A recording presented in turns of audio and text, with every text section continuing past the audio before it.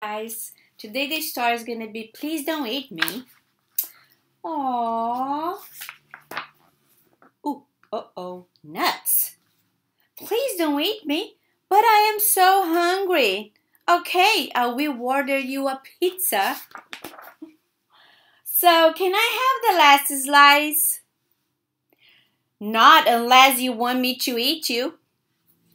Okay, Bear, I got you pizza. You aren't going to eat me now, right? I don't know. It just doesn't feel like a meal without a dessert. Here you go. Okay, bye. Wait, I still need to eat you. My friends will make fun of me if I don't. Oh no! I am being eaten. What a bummer. Ouch. Okay.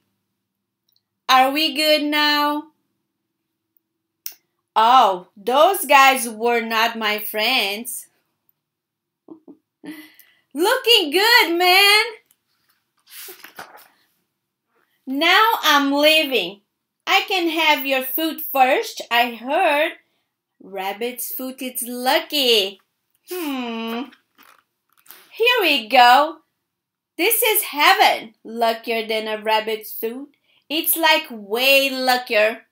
Rabbit's food isn't even lucky. No way, not one bit. Okay, doo-doo. Wait. Are you sure I shouldn't eat you? I mean, you didn't burrow through my lawn earlier. That was pretty rude. For crying out loud. Then they start to make signs. Do not borrow. This means no bunnies. Then they start to plant seeds.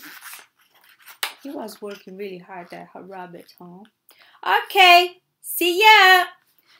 Fine, that's it. Just eat me, ready. And then he stomps away.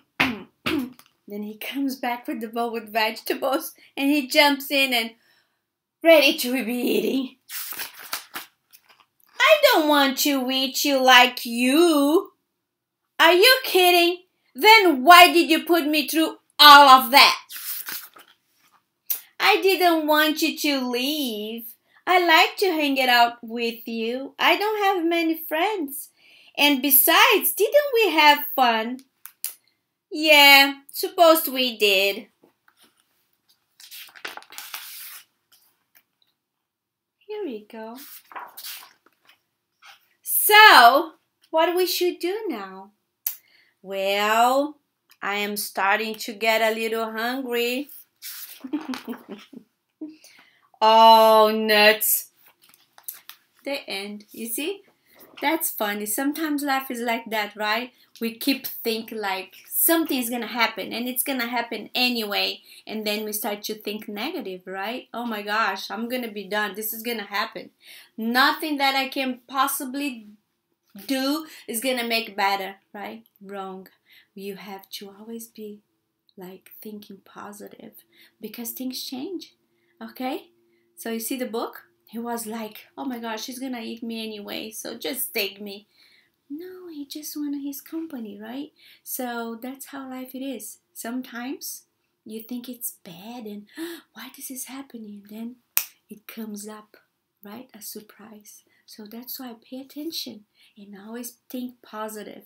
Okay, so I see you soon. Okay,